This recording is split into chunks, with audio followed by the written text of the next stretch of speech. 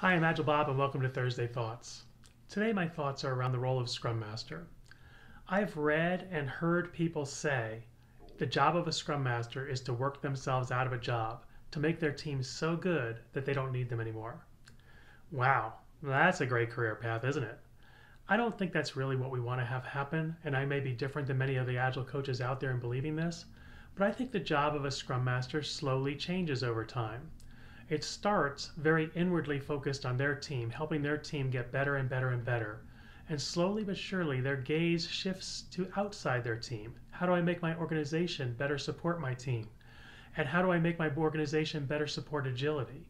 I don't think a Scrum Master ever works themselves out of a job, they just change who they're trying to help. Until next time, this is Agile Bob signing off.